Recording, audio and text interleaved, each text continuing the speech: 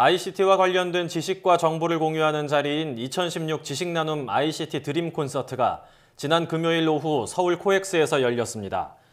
4차 산업혁명과 ICT의 미래를 주제로 열린 이번 ICT 드림 콘서트에서는 로봇 인공지능 전문가들의 기조 강연과 ICT 산업의 미래를 전망하는 토론이 이어졌습니다.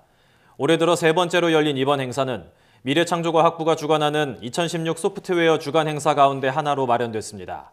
그럼 여기서 황중현 한국정보방송통신대 연합 부회장의 말 들어보시겠습니다. 현장에 있는 ICT 전문가들과 젊은 대학생들이 서로 지식을 나누고 공유하는 것이 매우 의미 있다고 생각합니다.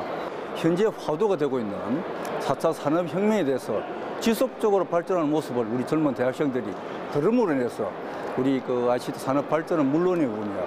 개인적인 어떤 어떤 취업에도 무척 도움이 되는 그런 생각을 하고 있습니다.